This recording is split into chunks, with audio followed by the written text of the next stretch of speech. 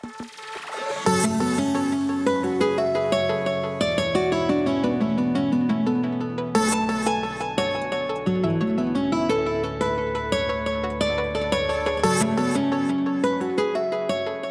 Hey, what is up guys? Jeremy here and welcome back to another tweak review. In this video we're going to be taking a look at a tweak called Swipe Home.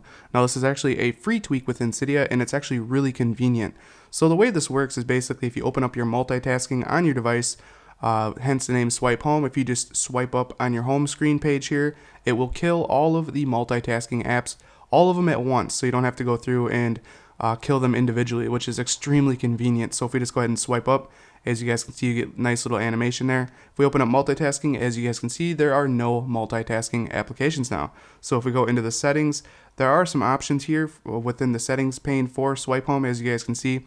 The first option is enable respring. So basically that way, if you have no multitasking applications, you can swipe up on the, the home screen page and it will respring your device, which is kind of a cool little addition to the tweak. You also do have the options to change uh, the animation for when it kills the apps. I have it set as the default left, but you can switch it to right or the top or bottom, whichever you'd like to choose. That's for you guys to play around with.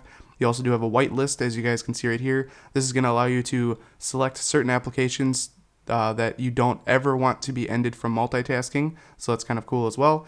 And then you do have an apply button, which is going to respring your device for the changes to take effect. And that's really all there is to this tweak. It's very simple, very straightforward and uh, I do really like it. It's a very convenient tweak to kill all of your multitasking applications because, as we know, they kind of add up here on iOS 9. You start to get, you know, basically almost every application you have within multitasking.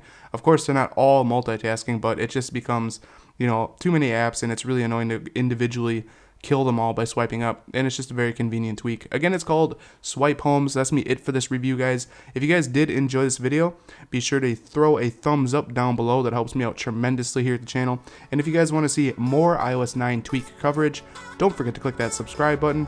This has been Jeremy, and I will catch you guys in the next one. Later.